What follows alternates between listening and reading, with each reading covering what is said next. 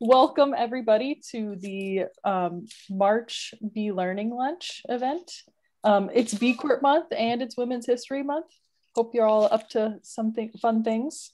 I just wanted to start with a few reminders before um, I get started on some introductions and overview for today. So we will be recording this session and we'll be posting it to our YouTube channel within one week of the event. And if possible, or it would be great if everyone could mute their mics when not speaking um, and ask questions in our chat. And if you can, we'd love to see your faces. So turn on those videos if you're comfortable. Um, and then if you also just for more connection, it'd be great uh, if you want to rename yourself in Zoom so we can see your full name, your pronouns, um, and maybe your organization. And feel free to say hi in the chat too. Um, and if you have any questions, put them in the chat or uh, we'll have time for questions at the end. You can unmute and ask them out loud too. Um, so just a little background. Uh, uh, B Local PDX um, made is hosting this event, made possible by these our wonderful panelists today. B Local PDX is a community in the greater Portland area that helps business people act on their purpose to achieve socioeconomic and environmental impact through meaningful relationships. And um, we're mostly a group for B Corps. And so for some of you, if you aren't a B Corp, certified B corporations are for-profit companies that use the power of business to build a more inclusive and sustainable economy. So a little bit about today. Um, we'll kind of start with some these welcomes, um, a little bit of introductions. Then we'll have some time for community announcements. So if you have any things upcoming um, that we should know about, start thinking about what those can be. Then we have an amazing panel. Um, listed here and I'll, I probably won't go into introductions. I think we'll start with that in the panel. So we have this listed here. Also, we will be sharing the slide deck too um, in the recap if you want to find out the details. Um, I'm Rose Lavelle. I'm the learning chair on the B Local PDX board. I also work for a Portland uh, B Corp called Scout Books. And we usually start with just um, kind of identifying any of the board members on our call. Just if you have any questions or want to connect with us, you know who to ask. So, Craig, would you like to introduce yourself? I'd be happy to. Uh, good afternoon, everybody. My name is Craig Hill. I know most of you on the call, but if I don't know you, I look forward to getting to know you better. I use he, him pronouns, and I work for B Corp Beneficial State Bank, uh, and I'll also be moderating the panel today. Um, I'll call next on. Let's have uh, Tia take it away. You want to go next? Sure, Craig. Thank you. Hello, everyone. Welcome. My name is Tia Sherry. My pronouns are she, her. I am a board member for B Local PDX. And my day job is I am Director of Development for the Urban League of Portland. Nice to see everyone. How about you, Georgia? Lee, you want to go next?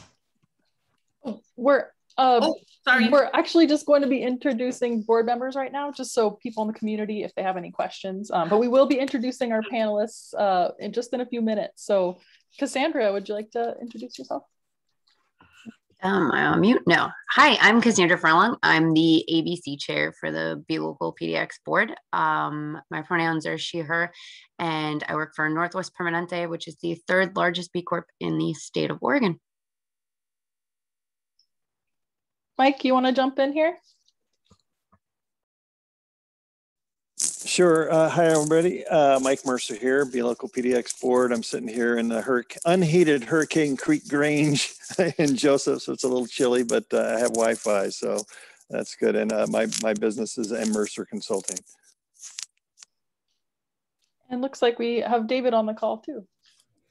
Hey everybody, I'm David, uh, he, him pronouns, uh, also a board member. I work at Fully in Portland and super excited to hear the panel today. And I think that's all the board members, but if not, feel free to speak up. Um, all the board members here today, we do have more. Um, and before we move on to announcements, I just wanted to mention, here's our overview today, but um, depending on interest um, and time, we will definitely have the opportunity to connect in small group breakouts at the end of the event. So if you wanna stick around to kind of co connect more one-on-one -on -one or in small groups, um, please stay to the end. All right, so next, oops. Oh, and here are our panelists. I'll let them introduce themselves in just a little bit here. And now it's time for community announcements. So um, I have a few from the board, but if you have anything going on, are you hiring? Do you have upcoming events? Are there other opportunities for the community that we should know? You can feel free to either paste those in the chat or you can unmute now and give a quick 30 seconds or less uh, announcement.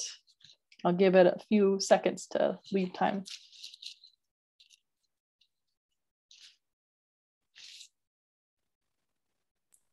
I could throw it in there. Beneficial State is currently looking for someone to work out with our marketing team. Um, we are an awesome place to work, and I definitely encourage you to reach out to me directly or check a recent LinkedIn post from Beneficial State uh, for the hiring for the specifics on that team. But you'd be uh, joining a team that's very B Corp minded, and if you know anybody who wants to join and work for a B Corp, we'd love to have you and have them apply.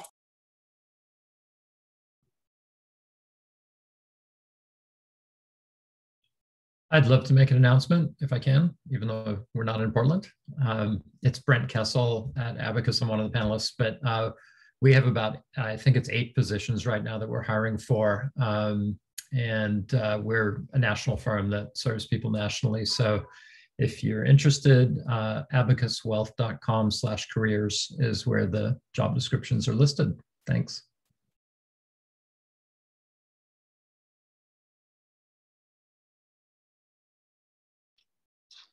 I have a few board announcements um, and I'm sharing my screen now, but I will paste them in the chat in just a few minutes. So um, we, uh, every year we have an annual uh, BLD conference for the Pacific Northwest. It's B Corp Leadership Development.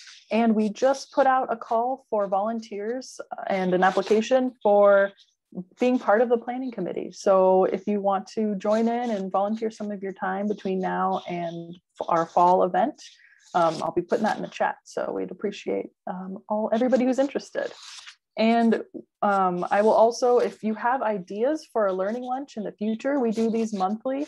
Um, we have a request for proposals form. You can, I'll put that in the chat, or you, or you can just email me directly. Um, and also next month's event, though we don't have it on Eventbrite and ready to register yet, um, that will be up in the next few days. Next month's event is going to be re-energizing ABC groups. So our ABC groups, um, also called Always Be Collaborating, um, they are where groups of in, uh, employees from certified and pending B Corps in our region can join and work with other people in similar roles, such as HR, marketing, um, impact reporting. So I will, um, you can stay tuned for our newsletter for registration, or you can follow B Local PDX on Eventbrite and be notified of any events that we're hosting. And like I said, I'll put that in the chat in just a few minutes. So are there any other community announcements?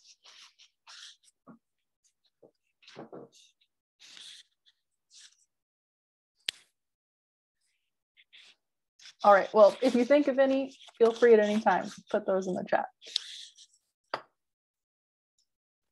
Oops. All right. So that is um, from my part for here introducing. So I'm going to pass it over to our panel moderator, uh, Craig Hill.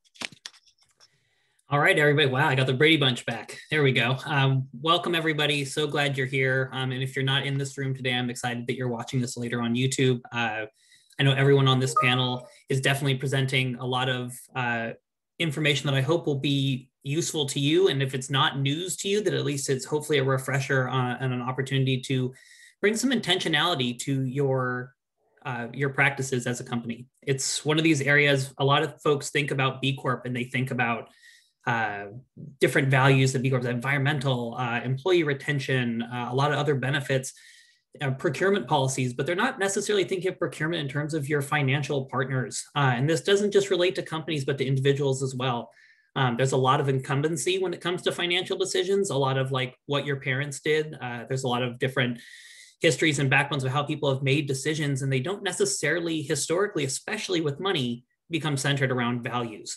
Um, certainly, their definition of value was limited to financial value for a long time. Uh, and I'm really excited that this panel that we have here today is going to be able to speak to the fact that you don't have to just make decisions strictly uh, on the way that you made them 10, 20 years ago, if you made them at all. Um, there's opportunities and lenses to divest from practices that don't you know comport with your values and invest in partnerships and relationships with people and companies that do comport with our changing values and what expectations are of financial services uh, so with that i want to give a chance for everyone on our panel to introduce themselves and i'm just going to go and rose i don't know if they're if they have slides in a specific order if i could just kind of go down the list and let people introduce themselves so um, we'll just start off first on the list nathan you want to take it away and start us off Sure, thanks. Uh, should I follow your outline that you emailed to us? That'd be great. Yeah. So just in general, uh, first thing is if you can introduce yourself and your company, how long you've been a B Corp, and something unique or different about your background that kind of drives your uh, dedication and commitment to the movement. Okay, great. Yeah, thanks for having me here. Uh, I'm Nathan Irons. My pronouns he and him. I'm with Bluestone Life. We're a national life insurance organization headquartered in Burlington, Vermont. Uh, we've been a B Corp since our incorporation in 2015 a number of things drive my dedication to the B Corp movement. I think the catalyst, it's safe to say, was when my daughter was born. And then that brought everything else together. It made it very real to me. Uh, instead of the intellectual understanding and the things that were interesting, uh, it became very real. So that's what the driver is for me day in and day out. Thanks, Nathan. Uh, Georgia, same question.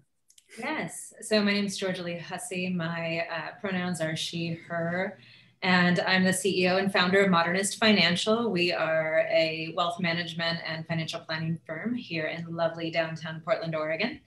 And we um, we help people figure out how they want to structure their wealth around their progressive values. Um, those things, things seem like they can be in conflict, but we believe actually there's a lot of opportunities um, to make more conscious decisions about how we structure, how we engage in the financial world.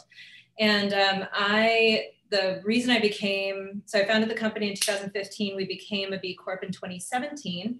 And um, I, before I came into finance, I was a sculptor and a writer.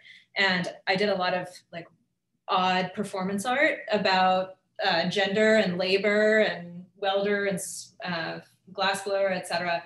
And um, I never thought I'd go into business. So if I was going to go into business, I was certainly going to do so with values in mind. Um, so a lot of our work now is about understanding how dominant culture money stories influence who we think we can be in our financial lives. Thanks. You'll see there's a reason we picked the panel we did here, gang. They all have some amazing stories to tell. Uh, Brent, would you like to introduce yourself and Abacus? Sure thing. Thanks, Craig. Uh, nice to see you, Georgia. I've heard great things about you for a long time. Uh, hi, everyone. I'm Brent Kessel, he, him pronouns. Uh, I'm down in Santa Monica, California, um, and I'm the co founder and CEO of Abacus Wealth Partners. Uh, we're a national uh, fee only impact wealth management firm. And um, we've been a B Corp since 2007. We were in the kind of founding cohort of, uh, of B Corps way back when. We have a, our first office actually anywhere was in Philadelphia, which is where B Labs uh, started. Um, and so one of our advisors and partners knew, knew those folks well. Um, so we were fortunate um, to get in back then when there was still a lot of question, I think, about was it going to be B Labs or conscious capitalism or other kinds of good housekeeping seals that would uh, that would show the authenticity of, of this movement? Um, I'd say the the interesting thing about my background um, might be that I was born and lived my first 10 years in apartheid South Africa. Um, and obviously, I'm white um, and male and straight and kind of every other definition of privilege uh, you might ascribe. Um, and but I grew up in a very progressive family. I had a mom who would drive into the townships after dusk against the law to distribute um, uh, uh, healthcare supplies, and th- her brother owned a pharmacy, and so she would get medicines and other healthcare supplies and take them in there, for which she could have easily been arrested. Um, so I only tell that story because it's indicative of the kind of values I grew up around, and so you know the obscene systemic racism of that country and that time was made very evident to even eight, nine ten year old me. Um, And then I got to America, which I assumed and thought would be the promised land, but I grew up in public schools in LA and uh, you know, we've gone to Skid Row every year to help homeless folks, the vast majority of whom are people of color. Um, so I've just seen, you know, this the racial wealth divide um, up close, and spent the last year working on a white paper uh, along with a, a black female CFP co-author about the next 50 years of the racial wealth gap and essentially what we in the financial services industry must do to help address it. Um, it's not only an employer and policy issue, it's very related to the kinds of advice that Black and Brown folks are getting, and more importantly, are not getting. So that's me. Thanks so much, Brent. And then last but certainly not least, my colleague at Beneficial State Bank, Emmanuel Barragan. Everyone, good afternoon. My name is Manny Barragan. I am a client and treasury manager alongside with Craig here at Certified B Beneficial State Bank. Um, we've been a B since 2012 and founded in 2007. Now, the unique thing about us is that we're the only bank in the United States that's owned and governed by a nonprofit foundation of the same name, Beneficial State Foundation. Usually, banks own the foundation. and this case, is the other way around, and it's for a purpose, which I'll talk about um, later. Um, something that intrigued me a lot about certified B corporations and just being around here in this in this community is um, I was born and raised in Mexico in a native place with uh, 20,000 people, and coming to coming to LA where there's millions, um, two things came to mind. Um, one is preserving and maintaining the land, the environment. Um, there's a lot of nature over there, and seeing that everything is just being built up and a lot of the environment, um, uh, the trees and everything are being cut off here uh, for more land kind of like gets me into that uh, thought of how can we do this in a better way uh, that's not costing so much um, the environment. Um, the the other thing was the people. Um, the I came in as a as an immigrant, and I recently became a naturalized citizen uh, not too long ago, um, and just the fact that there's a lot of opportunity and and and equity for for many, but it's unreachable for a lot because they just don't know who to go to or what community to become involved with. Um, kind of drove me to to find this community and find um, uh, kind of like a little second home here where I can at least garner some of your expertise to then go ahead and and push forward the knowledge and and the contacts. Thank you all so much, and it's a great background and framework for these conversations that we're having. That uh, we all don't come from a relatively traditional background when you think of our respective industries. Uh, and I think that that is illustrative of kind of the next question that I wanted to tip off. And, you know, I don't necessarily want to seed the conversation with any one person for any of these questions on the panel, but more for the opportunity for anyone who has what they want to value add on. but in general, if it'd be helpful, if you can kind of explain a little bit of your industry background how those institutions historically have made money, um, and how that can be very contra-mission to a lot of folks who ascribe to the B Corp values writ large. Uh, there's a lot of different contra-mission racial wealth gap uh, pieces that Brent had mentioned. I think there's just a great opportunity for us to explore traditionally how financial systems have worked uh, so that we can kind of mine and explore what to look for when things are, are the opposite or inverting that kind of expectation. Anybody who'd like to go first in particular? Because I'm not afraid to call names.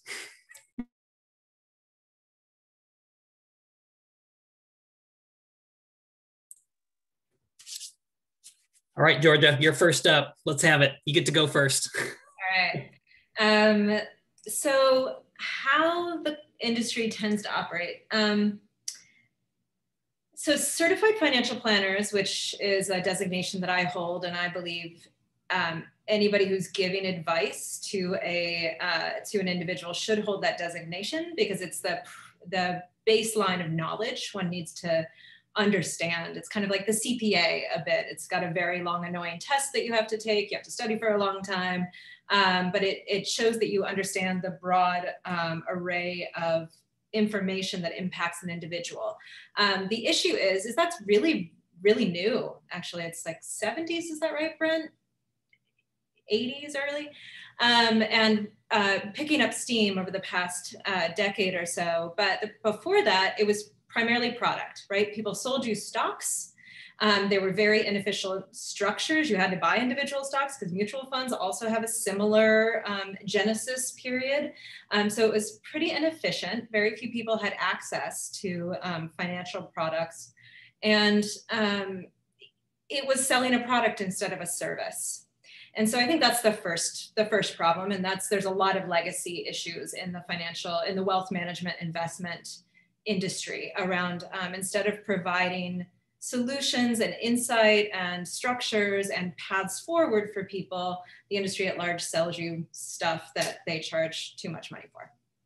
Um, so I think that's the the the history there. Um, the ways that it drives the racial wealth gap are uh, vast and interconnected. Um, I would say that the way I think about the industry is that our job is to help people, our clients, understand what their core values are, what is important to them, especially politically, and how that drives the decisions they make on the daily.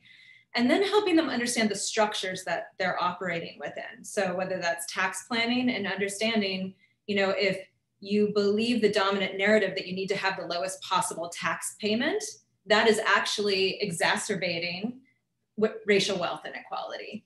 Um, the uh, so there's dominant narratives there, or estate planning. I should have give all of my money to my children, and not having a countervailing narrative um, is part of the problem. So you got to understand your values, then you got to understand the structure, and that there actually is another choice when the dominant culture doesn't necessarily um, point to or celebrate alternative ways of managing one's money.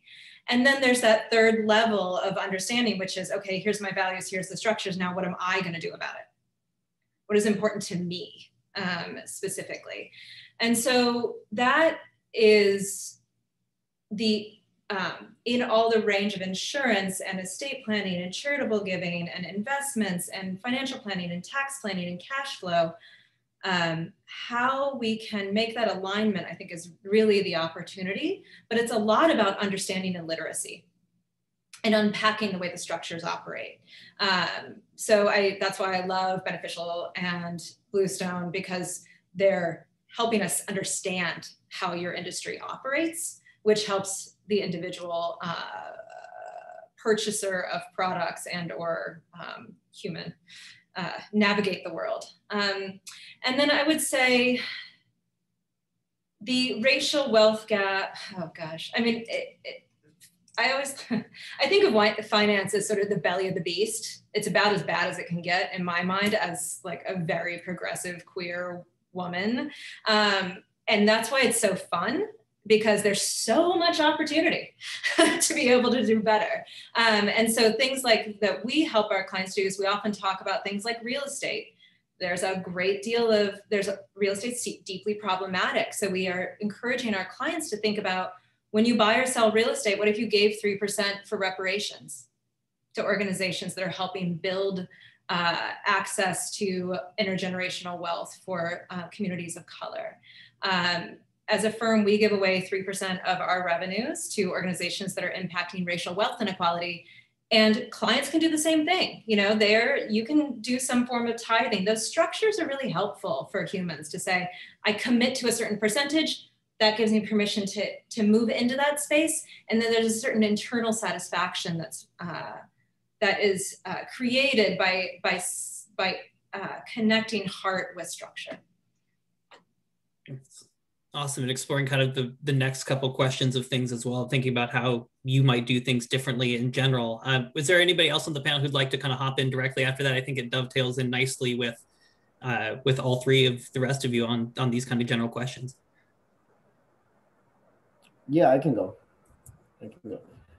So we all know the banking industry to be a very fossilized industry back way when, and usually a lot of people do not know what's happening once you deposit those monies into that your bank account, whether it's a checking savings, um, whatever it is. Um, that that's why for Beneficial State Bank and the Beneficial State Foundation and brand, it's very important to be transparent and just focus on clients understanding what we're doing with those monies. Um, and and that's usually how they rate us as to uh, given that relationship experience, that clarity of what we're doing um, with your deposits, um, which is why Beneficial State Bank became part of the Global Alliance for Banking on Values, uh, participant of the Social Just label, a certified B corporation. And then, of course, our bylaws mandate that um, the for-profit side of the bank operates in which conjunction the, uh, of the Beneficial State Foundation. So basically, all of our all of our proceeds go up to the foundation, and then that disperses back into the community and the source of help, grants, um, CRA, um, whatever the bank uh, think is mission impactful. Um, I'll focus. I'll focus on the uh, contra-mission side, uh, contra-mission side of it, on the environmental degradation and how we make money. Um, so, in in simple terms, banks make money by you can say a couple things. Um, one is servicing clients, um, kind of like Craig and what I do, uh, treasury management, um, whatever your business needs to operate in terms of, uh, of just keeping that operation side uh, as, smooth as possible. And then most importantly, uh, using those deposits uh, deposited by our clients and then using that to lend out for loans and then in turn uh, generate revenue by the interest earned by those loans. Um, those, that's how that's how banks tend, tend to make money. Um, and if you think about it, a lot of people just go based on the big banks, focusing just on how many branches are in every corner, or or just going to their website and the first thing they do is just click on products or rate sheet. But the, they don't really dig any much deeper into what the bank is doing with those monies once you deposit into the accounts. Um, so something very important is you may be subconsciously uh, being contra-mission to yourself uh, if if one of if your money ends up in a loan that's very uh, you can say environmentally degrading um, in, in the sense that if you put your money into a big bank you just do not know where that money is going to end or into what type of loan it's going to end um, this is why we exist on the sense that we have our no harm banking model that we say whatever money you have with us we can ensure that none of those monies are going to go into anything that's contra-mission to the beneficial state brand. And that's lending to private prisons, natural gas, coal, uh, predatory lenders. We ensure that none of those monies are going to end up in a loan like that, even if it's profitable to the bank. We'll just uh, say no because it is in our in our policies to uh, reject um, deals like that.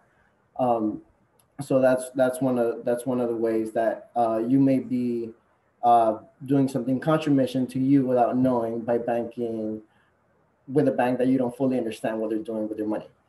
Um, that's that's one of the ways.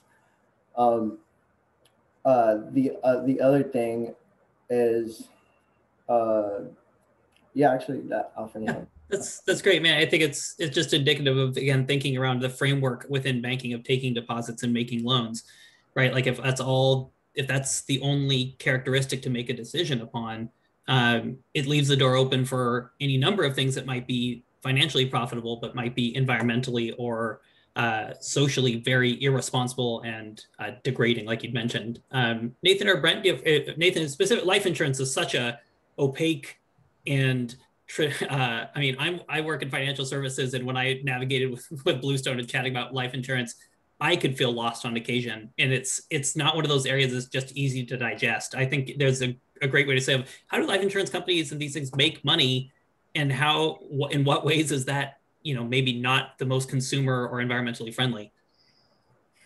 Yeah well uh, if you think banking is fossilized you could probably find the insurance industry has you beat by a wide margin. Um, you know to us in one way it's very simple. You pay a premium and the insurance company invests those premiums and they're supposed to have enough money to earn a profit and pay claims. Uh, but as Georgia said, it's very interconnected and there are lots of things going on behind the scenes. And I think partly with the financial industry becoming so commoditized and impersonal in a lot of ways, it, it made that gap between you paying that premium or making that deposit and what was happening with your money, you know, they were completely separated. Um, and as as you've mentioned, that we're funding all sorts of things when we make a deposit or pay a premium. And we really came to the conclusion that there was a, the conviction that we came up with that you know you can only protect your family if you're also protecting your community and the planet. Like even if you're not inclined to care about the greater good, you know, we think it's at a point people should realize you you really can't take care of your family unless you're also taking care of the community uh, and the planet. So that's what drove our business model and uh, being a B Corp and a 1% for the Planet member. Um, for us, it's, it's driving that personal connection that you know while you're a customer, you know, your premiums are being invested in affordable housing and green energy transmission and other good projects. And then um, for us, we use the leverage of the product itself so that every customer gets a complimentary additional benefit. So when a claim is paid, you know your family is taken care of, but there's an additional complimentary benefit, uh, death benefit that you can choose any nonprofit you want uh, the money to go to. And that's how we get back to our conviction that you know every step along the way there's support, not only to look out for your family, but also the community and the planet. And that can happen through community development financial institutions, just one of the reasons we really like Beneficial. You're also a CDFI. Um, so that's how we approach it and try to bring back the, the core purpose of it to look out for you know the greater uh, community and planet in addition to your family. That's awesome. Brent, if you wanted to expound on anything in here as well. Yeah, sure. Be happy to. It's so great to hear these comments. Um, I think I mean, to add to what Georgia said about our industry, yes, so much. I mean, the vast majority of people who call themselves financial advisors, which is not a regulated term, earn money from commissions and you know other sources besides the client, even while holding themselves out as as being the objective professional like your CPA, your attorney, your doctor, um, none of whom are generally paid by people other than you. Um, so I think you know that's that's a key piece of it. And the racial wealth gap part, I mean, I I love working with higher net worth clients and and with you know progressive values and and sharing ways that they can use their resources to uh, make the world better uh, in in their definition of that.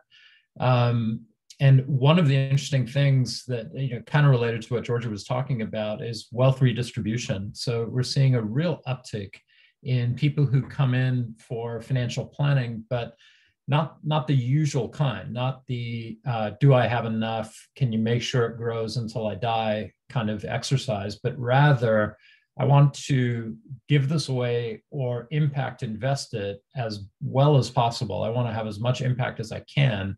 And here are my needs um, from it. So, how do I kind of minimize my own like drag on the on the wealth on the resources in terms of consumption and my own security um, and maximize the amount of impact. And it's like i look in most cfps eyes when they get this kind of question you see like it's like those old cartoons where the eyeballs spin.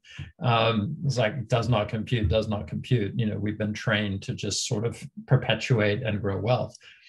Um, and part of that so even for folks not paid by commissions in our industry, the most common way of being paid is a percentage of assets under management. And so if you think about a typical fee of 1% of assets, what we all figure out pretty early in our careers is if I help someone with $500,000, 1% of that is 5,000 a year. And if I help someone with uh, $20 million, that's $200,000 a year, leaving aside for a minute that usually fees come down a little bit as the, as the size of the relationship grows. But what, what happens is that talented CFPs move up market. It's just like, well, let me try and add a zero or get double or get, you know, make a higher minimum. And that way my income will rise and my workload really won't um, because 60 clients is 60 clients. Um, so what we did at Abacus 16 years ago is we did away with asset management, AU, what are called AUM, assets under management minimums, um, in an attempt to try and include many more people, uh, a lot more socioeconomic diversity.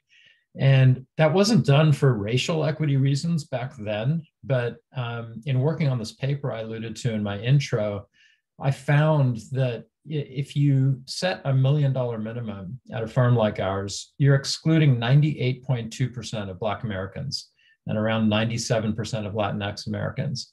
So, you know, it's, I think we as financial planning firms and financial advisory firms have a moral obligation to provide, you know, whether it's the way George is doing it with you know racial wealth equity kinds of donations to, to ngos it sounds like that are involved in that or whether it's through you know, pro bono programs that we offer, um, or actually having paid services that are affordable um, that can set up those structures that uh, you allow people to really act on the key pieces of advice that will narrow the gap. Those are all terrific examples. And I think it kind of leads into the next question I like asking of folks is there was a really amazing study that came out in 2015 that said among communities of color, trust in payday lenders was 65% higher than it was in banks. And for me, that as somebody who has studied the payday lending model and things, it's so extractive and so horribly expensive. Then why is the trust higher in this? And the answer is pretty simple. You could beat yourself up and, and intellectualize it as much as you want. They're very transparent with what they charge um, by law, there's some regulatory pieces that make it, it's like a fast food menu. When you walk into a payday lender, it's on the wall what it's going to charge you to do every last thing you're going to do there. And in that regard, trust in a lot of institutions, uh, especially among communities of color for banks, financial providers, uh, for life insurance, for other pieces, is that there is a lack of transparency. It's very opaque uh, in how these fees are calculated and how you pay. Uh, that drives a lot of lack of trust for communities of color, especially. Um, I, would like to just say, with, with that kind of thought process in mind, how would you recommend to someone exempting your own company as an example for if you were to say to someone i the right lenses for making a decision on picking a financial partner regardless of what the background would be if it's life insurance or if it's uh, financial products and services and investment or banking or really just anywhere what what would you recommend in your industry specifically to look for uh, in finding a partner um, for fee structures or transparency or for uh, community service uh, involvement in their various communities. Uh, I'd love for you to just kind of share something that you would help think would help make a decision or folks could look for as shorthand for making a short list of the people to interview or think through making an intentional process if they are going to go through all the effort of divesting to ensure they end up investing in an organization that's more in line with their values. Um, and I feel like we got to Nathan last ish last time in terms of the industry type. Nathan, if you'd like to go first, that'd be great. Sure. Yeah, we probably represent the least transparent industry, so it's a, a good place to start.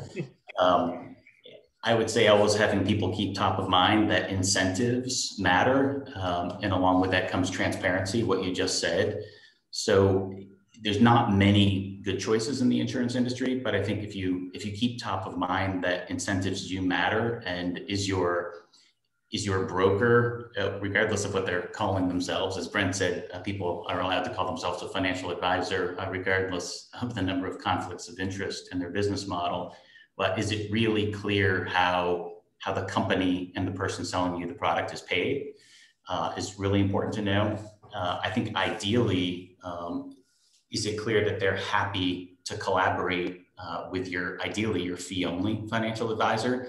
And that gets back to the transparency like and the confidence that you know you're not trying to hide anything and that hey you have an accountant that you count on you have a fee only financial planner that you rely on for advice to make sure it fits into your plan. You're only getting what you need and you understand exactly what you're purchasing.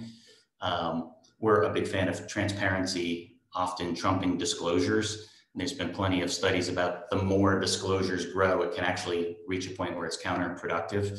Um, and in a very perverse way, maybe that gets to your payday lending scenario. Uh, and that's why we're such big fans of transparency. You Understand what you purchased, you tend to get the right thing. Absolutely. Anyone else want to just hop in here uh, in general? I'd love to kind of hear what your thought processes are for making an informed decision. I'm happy to hop in. Sure. Um, well, first of all, we have a part of our website that's a referrals and resources page that because we get these questions so often and our minimum is a million dollars, so we can't work with everyone clearly. One day I'm gonna we're gonna be big and have been around for a long time and that will um, that will shift. Uh, but we have a ton of resources there and we lay out exactly what we think a financial planner should be able to provide. Um, and I really love um, the comments, Nathan, on um, how people get paid, and same Brent um, and Manny. I think the understanding how folks are incentivized is so important, um, and also this is a high bar in this industry, but finding somebody who reflects who you are, um, because you know, CFPs, I think it's 2% or 3%, Brent, I don't know if you remember, are um, identified as Black and 23% of CFPs are uh, female identified. So um, it's a little bit of a high bar, but they're out there. they are out there and they're growing all the time. Um, so, and then I would also say there's some really interesting alternative models for paying financial planners now where there's retainer based models, which are really great. Um, and I know planners that I love that charge as low as $100 a month to be a, a comprehensive financial planner um, as uh, support. And then, of course, there are uh, wealth managers and financial planning firms that offer pro bono services as well. I know we spend a fair amount of time doing that. So I think they should look like you, at least reflect your values and the way that they operate in the world. Um, and some of that's just a gut sense. Georgia, that made me think of it as when I I do and, occasionally enjoy a trip to Las Vegas outside of COVID and gambling for as entertainment. But you joke that those casinos are not built by the winners of the gambling or anything; it's built by the house, right? And I think a lot of these conversations, what you're reflecting of black or uh, non-white investment planners or female identifying certified financial planners that if you fall over and find one it's not the industry standard and it's often not how the industry was built on the back of this kind of intentionality right? That like the intentionality is something i think all of us reflected that you have to do a little bit of research right? You have to find what your values are and what is important to you is kind of a general theme in here so that you could start asking questions of your financial partners to align with a lot of those same values right? Um, Brent or Manny, did you want to expound upon any of those sides from uh, decision lenses you think are important for making a decision in your in your specific product area? Sure. You know, we we get it. We we might not be the best fit for everyone, and that's totally okay. Um, we have our we we cannot service everyone, whether it's for a yield purpose or location purpose, um, so forth. But just do some like Craig you mentioned, do a little bit more due diligence. Uh, look into community banks, into credit unions. If you're going more on the bigger scale, then do go through the government websites. Uh, Community Reinvestment Act is a good uh, it's a good place to start seeing what the rating for those banks are, whether it's outstanding, whether they, need work on on reaching out more to the to the LMI community in terms of lending, affordable housing, all that good stuff.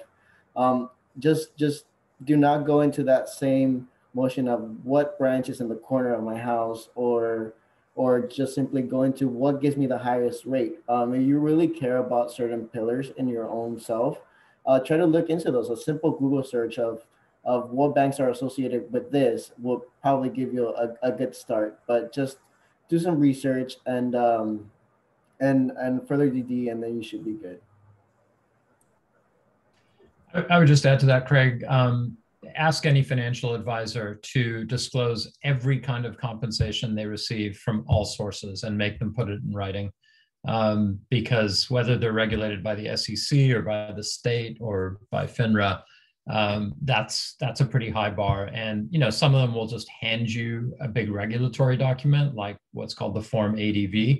And what I would say is, no, I don't want to go through this 60-page document. I want you to just tell me exactly what you're charging me, exactly what you're being paid, if you recommend anything and everything, even if it's, you know, you're referring me over to this tax preparer or something, do they take you golfing once a year? Like, I want to know every way in which you might have a conflict or be incentivized.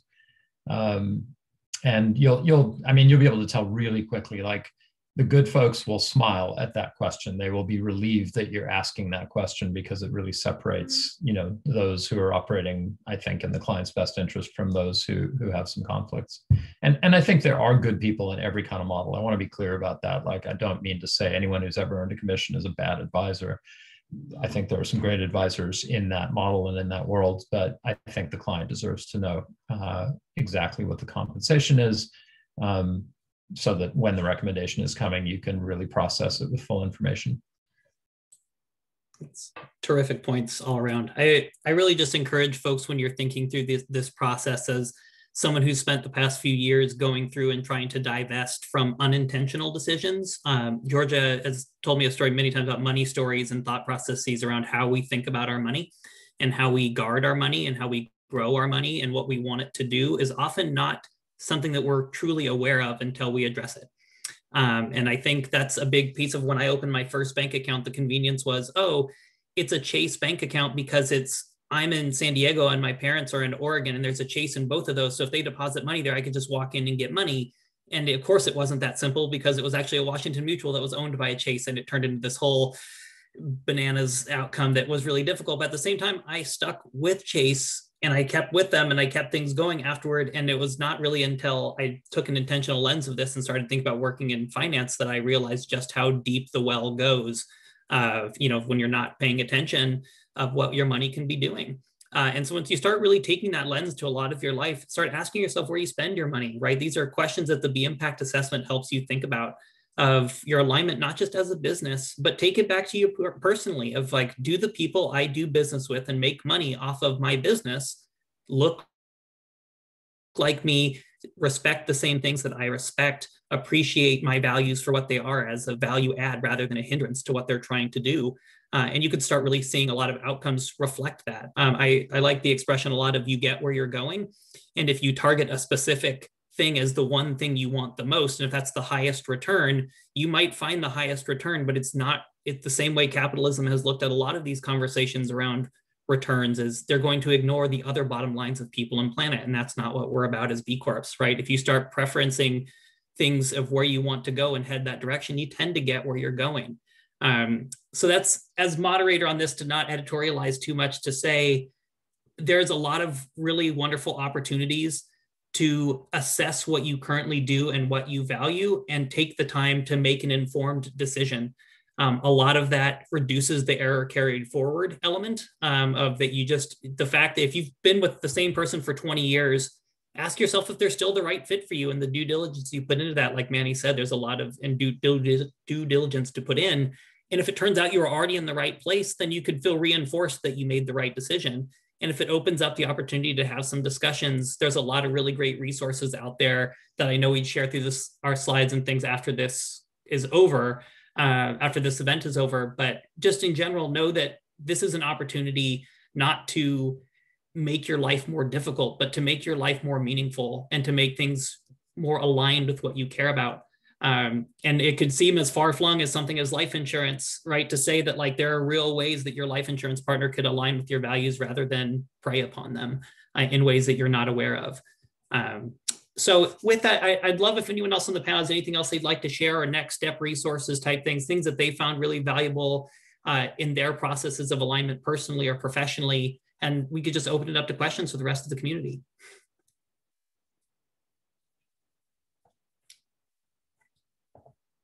And if not it's it's all good. It's more just a question of if there's something that you really value in as making some of these conversations uh, about uh about how to make things more intentional in your life and your practice i think we all know the b impact assessment has asked that question of our businesses. And if you haven't been part of a b impact assessment um, if it's worth that to put in for your business i think taking a lens to your personal life and going through that sometime and setting aside the chance to do that would be great. Georgia and your hands up um, yeah, I'm uh, the thing I keep thinking about right now, and it's probably because we're in the middle of a really difficult tax year, um, is tax policy and tax money stories that are driving. It's just amazing to hear how unconscious people who consider themselves very um, concerned about global impact, how pervasive the story of I need to pay less taxes, or especially as business owners, tax policy is it's wild how low some of our clients' tax rates are because they own a business. Um, so one of the things we've been talking about with folks is um, setting an internal um, minimum effective tax rate and giving away until you get up to that point.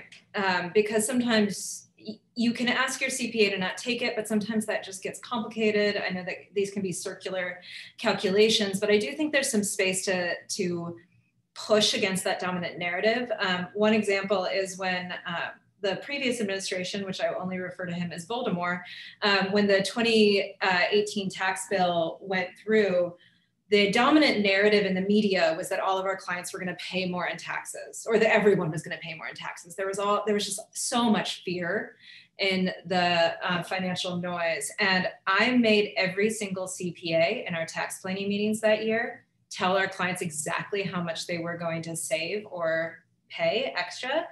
Every client saved money.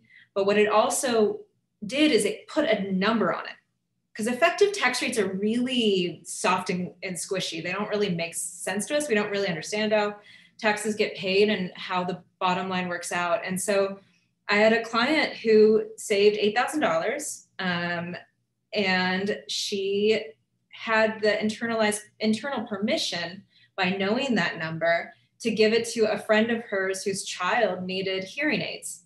She didn't feel like she needed to give it away to get more of a deduction. It created the sense of like, this isn't my money. I don't want this money. This is not an administration I want to be connected with. And so, therefore, let's give it a structure and then put it somewhere where it could potentially do some more good. It's awesome, and I think it's it's also bears witness to the statistic I share a lot, which is the philanthropy industry in this country is about 180 billion dollar per year GDP. Basically, if it were a country, it'd be 180 billion. Uh, but our overall GDP as a country in the United States is 21 trillion. So if you think about what that is as for nonprofit wage, basic over it's but less than 1% of our overall resources go to nonprofits in solving these problems. And there's very few things in this world that can take 1% of the resources and have an equivalent outcome to counterbalance a lot of the negative impacts that come from the other 99%. It's very difficult to do that in a lot of contexts.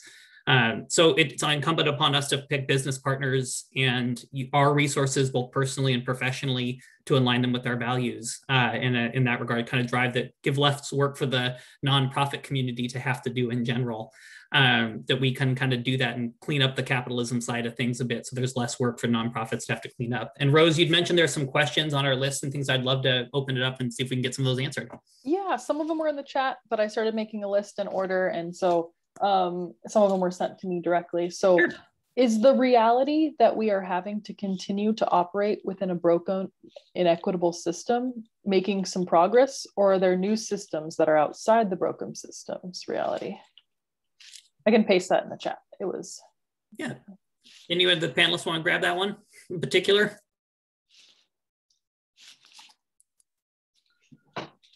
I'm happy to chime in, Craig. I guess I always feel that it, it gets back to your last question too, that um, I think it's going to be a really big challenge. As Georgia said, while tax policy is the way that it is, and while externalities are not priced in, it's it's just too big of a door for companies to to operate in when they don't have to pay for the damage. Uh, but there are an increasing number of positive ways. And going back to your your last question, I found one of the most helpful resources for people to get their hands on what's actually going on in their community is through the community development financial institutions. They tend to do a lot of the really, you know, hard work. And again, beneficial is a CDFI yourself, which is one of the reasons uh, we love your work. But like if you go to the Opportunity Finance Network, which is one of the parent organizations, you can go to their locator, and like there are four CDFIs operating, you know, in Portland and you can dig right in and see exactly what kind of projects. And it's remarkable how a reasonable amount of money. I, I love the uh, example of like the $8,000 or quantifying what was saved from a system that you know doesn't make sense.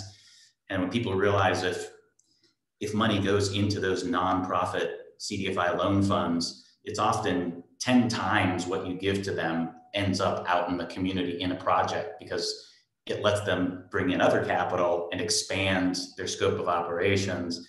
And they also, along with that capital, tend to provide really valuable services uh, around planning, QuickBooks support for privately held businesses. Uh, so I think that's where people get to see the work on the ground uh, from the part of the economy that normally is not funded um, either at all or at predatory rates. So I think that's a, a great resource uh, to bring yourself closer to what's happening in your state and in your community. Yeah, I'll add a little, I'll chime in a little bit. Um, a, a few other resources.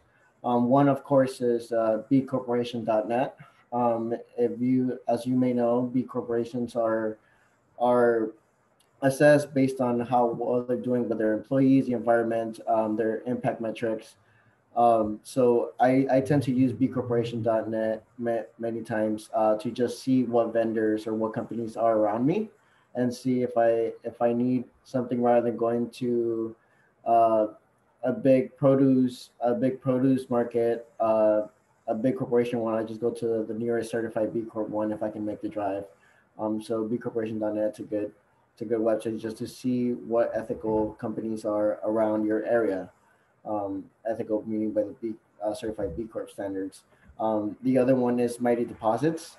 Um, uh, Mighty Deposits is a good website that just basically shows what um, what banks are good with and what they're doing with your money. Um, so that's another that's another good resource website where you can just go and, and see um, what what's out there other than the heavily renowned names that you hear on, on the media all the time.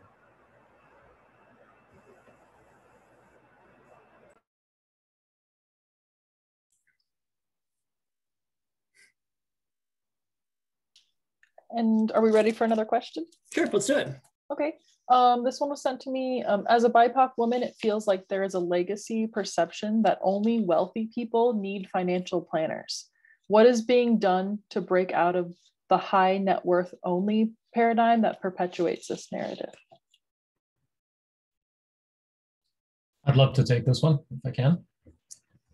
Um, I think I mean, a few things are being done. It's it's it's getting a lot of attention within the CFP profession itself. Um, the the sort of nonprofit uh, arm of the CFP board, which is the accreditation body, um, is called the Center for Financial Planning, and that they have a number of things going on. They have a named scholarship program for BIPOC uh, aspiring CFPs. Um, there's another industry association that created a Black and Latinx internship program for aspiring CFPs, and a number of firms are participating in that. And uh, so we're going to have, I believe it's six uh, Black and Latinx interns this summer for about 10 weeks, um, you know, learning what it's like to work inside business.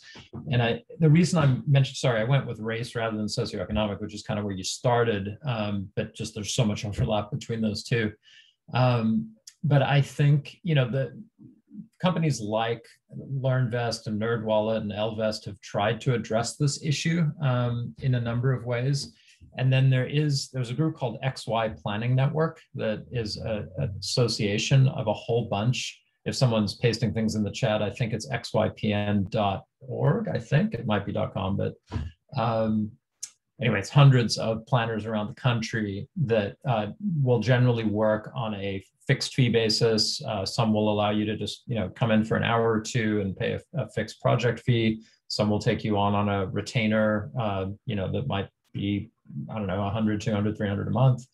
Um, and so that's the way in which many firms are, you know, kind of reaching folks who aren't high net worth yet.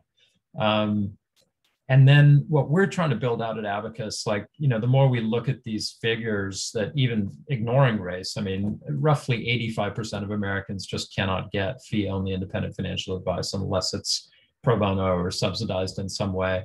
And yet the technology, you know, I think part of what's missing is that tech only solutions don't reach people in a in a trusted enough place and a personalized enough place. Um, so tech enabled um, but human centered advice, I think, is where the answer is going to be. Um, and so, what we're building out at Abacus, and I'm sure many other our firms are doing it, um, is kind of the spectrum of. Uh, we, we have, for example, a young professionals course that is for people in their 20s and 30s that are trying to just start saving and building wealth and having good habits. And it's six sessions over the course of six weeks that, you know, it costs, I think, 100 bucks or something like that. So and, and the groups are not that big. So there's so many different delivery methods, um, online courses, DIY, you know, tools like George's on our website, referrals and resources to use to, to go find advice. And I think, you know, that is such a huge and needy market, if you will, not, you know, in terms of the amount of impact we can have as social enterprises, as B Corps, that it's got, you know, some of us, it, it's got our full attention. I'd like to add, um, I'm so excited that y'all are working on that because it's just, it's really such a huge opportunity to create a market that the financial industry has basically decided that they don't believe exists. In the same way that um, they've had, uh, I remember 10 years ago when I first started in the industry, um, there were marketing campaigns for women to help women manage their money as if women had never had money before to manage as if we were a minority when we're 51% of the population. So there's a um, there's a there's a, a huge opportunity to innovate in the industry to produce solutions. Um, but i also think again i'm kind of a policy geek but we have this problem of so many unserved people because of systemic policy policy creating issues so, what if we were arguing as an industry for um, another level of Social Security so people could actually get guaranteed income in retirement? Because 401ks are really problematic that we put the onus of responsibility on people who don't know how to invest, who shouldn't really know because they have other expertise. Um, and it, it just creates layers of fees for individual people. So, what if we were creating more um, uh, population wide solutions. I mean, as we push more and more people into independent contractors, fewer and fewer people have access to life insurance through their, their employer. So, what if there was an Oregon based life insurance and disability insurance um, fund? So, I think I want the industry to produce these, but I also want us all as citizens to require that we provide social solutions to problems that I don't actually want capitalism to solve. I don't know. yeah, one that struck me when I first heard it about that level of if you invest your money at 10% roughly, right, in seven years, that money will double um, just off of the, the compounding interest piece. And they try to teach you some of these things in high school through E and through other levels of uh, you know, logarithmic and exponential increases that just don't really stick in a way that uh, you know, if you have somebody who starts saving at 25 versus saving at 32, right, the def- the difference of those seven years is an entire compounding interest. You've lost out on all that money between 25 and 32, could end up with basically twice as much in your retirement account just for saving even smaller amounts seven years earlier, um, which driving racial wealth gap pieces and things that we're discussing as well. Those are elements of if you don't have parents who are already invested in the stock market or could think about investing in a 401k, you're not getting that advice from one of the only people that in your life who could give it to you. Um, only 5% of Americans respond uh, like accurately to a question of how much money do you make per year? It's a very guarded thing that we have in our society of talking about money as well. Um, and I think that that can often drive the, the fear of wanting to talk about it or that your status in this capitalist society is lessened because you don't make as much as someone else you know. Therefore, your money isn't worth their time or those investments could be something the industry has driven widely as well. Um, and that's where I've seen a lot of those those questions when I have people asking me of like, well, what drives these outcomes? It's like, well, you know, there's a lot of reasons for these going that way, but I also hope that there's, as you said, the innovation, other folks recognizing that these are not accidents that this has happened. Um, that this is the way that the industry has been driven and it's been profitable to operate that way in finance in banking in life insurance there's uh, areas that it's been that way and we have to demonstrate that the need is there right um, and Rose, I don't know how much time we had in particular, if we're scheduled beyond one for uh, time. We're scheduled till 1.15. Okay. Um, so I do have another question. It was in the chat from Mike. Um, ESG and SRI funds have grown tremendously over the last couple years. How can I tell if the fund is really having positive impact or just labeled to appear ESG or SRI?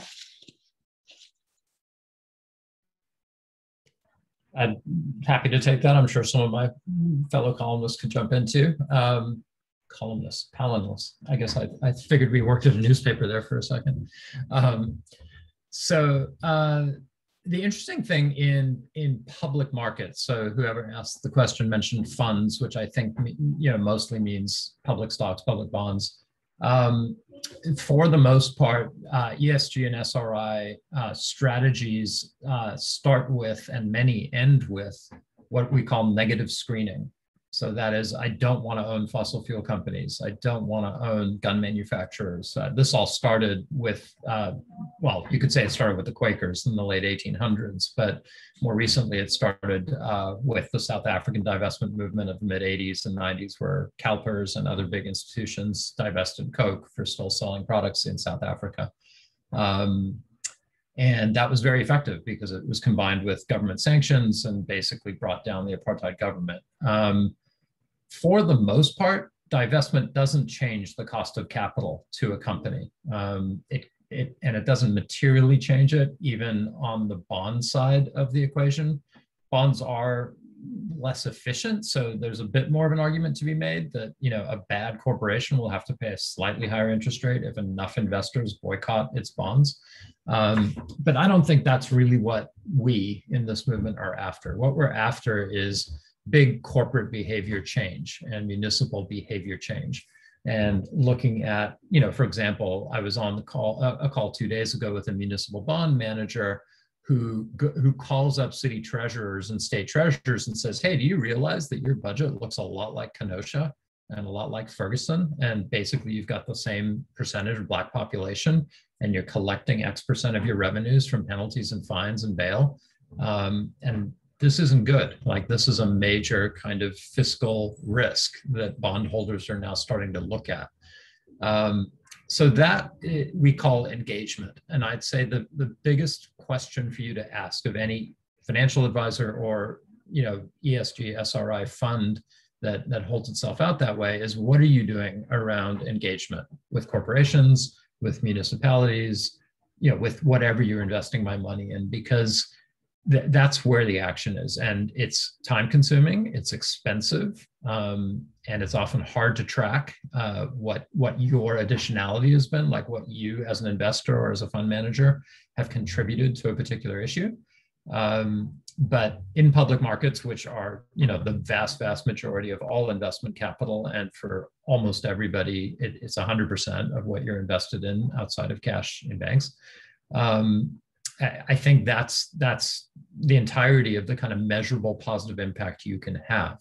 Um, we all feel better not owning a gun manufacturer, and we probably feel better if we're putting more of our money into renewable energy companies. But again, that because almost all these securities are traded on secondary markets, we're not really changing the cost of capital of the company. We're not generally giving a company more money that they otherwise wouldn't have had to do R&D or to market their great product um, we're just driving up the price essentially, um, which is a nice signal to the world that ESG matters, but you know, not as important as engagement.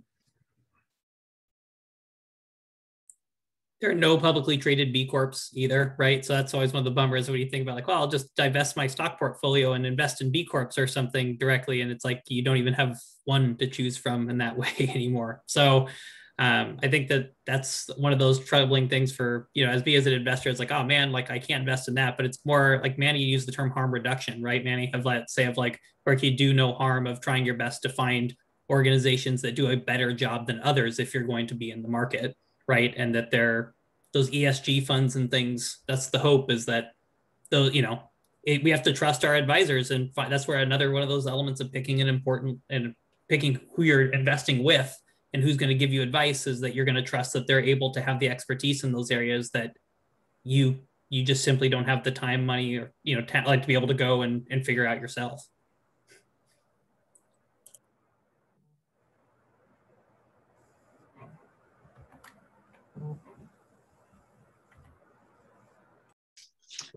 And if anyone has any further questions, then feel free to put them in the chat or ask out loud. I think I got all of them that were sent to me, but just want to give that opportunity. I saw somebody had a question about 401ks in there. Um, and we don't, I mean, we do very few of them just for a, a few clients who need them. Um, but I would love to hear anything from the community if you know of any um, intr- like small business 401k providers um, that do um, a reasonable job even just lower cost would be very um, welcome. I know there's things like um, guideline and betterment but i have a little bit of a worry around the um, venture capital funds that i think own those um, businesses and what their intentions are in the long run. So i'd love to hear from the community if anybody has any resources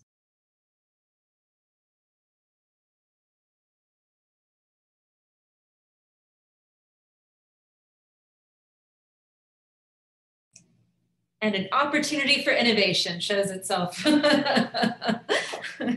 Um, I will say that this is one of the many reasons I'm proud to be an Oregonian. We are one of the early states to offer a statewide retirement plan through the Oregon Saves program. And it's not perfect, um, but it's, I think, a um, signal that we're trying to make sure at least people have access to a retirement plan at the state-based level. Um, so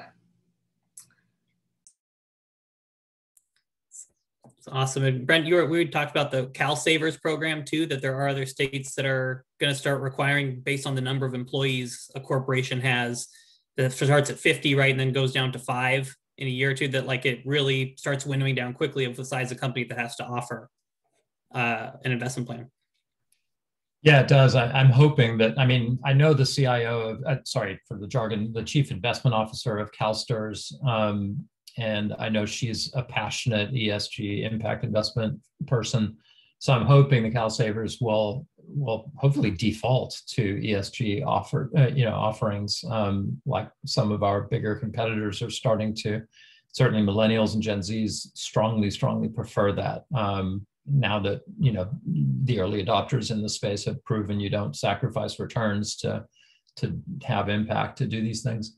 Um, I will say, Georgia, to your question, like we have done some 401ks for some of our clients who have small private businesses. So we are aware of the space. Um, we do do it. Um, there, you know, there's some others out there, Social K and, and others that do it.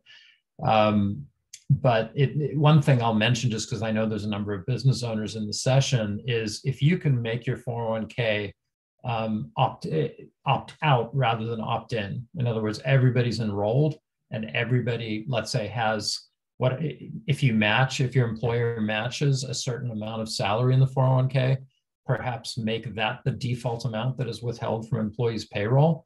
And they can increase that or they can opt out of it if they really, really need the cash flow for consumption. Um, but the participation rates go through the roof when you have an opt out rather than an opt in.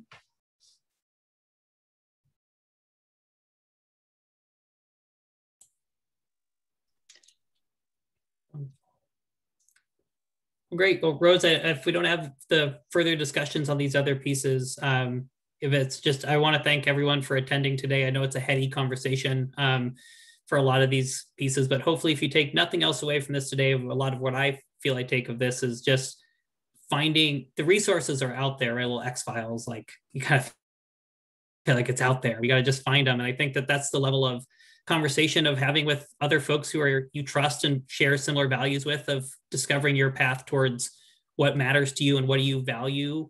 And then putting your money showing you know kind of where your money where your mouth is a bit more and putting making sure that your investments and your banking and your uh, if you're searching for life insurance i mean you could do a whole lot worse than aligning along the folks who are on this call um, but we're not the only options and other pieces that are out there right? But i think it's about finding the signal in the noise and finding partners who align with your values so that you can get a short list going of finding comparing contrasting the people and the services that offer you the closest to what you're looking for. Um, and i just really appreciate the time of everybody who gave freely today and shared their their visions and pieces and look forward to similar conversations in the future. Um, i know all of our contact information is going to be shared by rose and the the follow-up email uh, this will be recorded if you want to share it with someone in your family or someone else at your uh, company or anybody else who'd like to have a conversation. Um, I know everybody on here would be happy to follow up and have further conversations if it was fruitful for your family or your business uh, to have a further discussion. Um, so just thank you, everyone. Uh, really appreciate your time and I hope you have a great rest of your week and happy spring.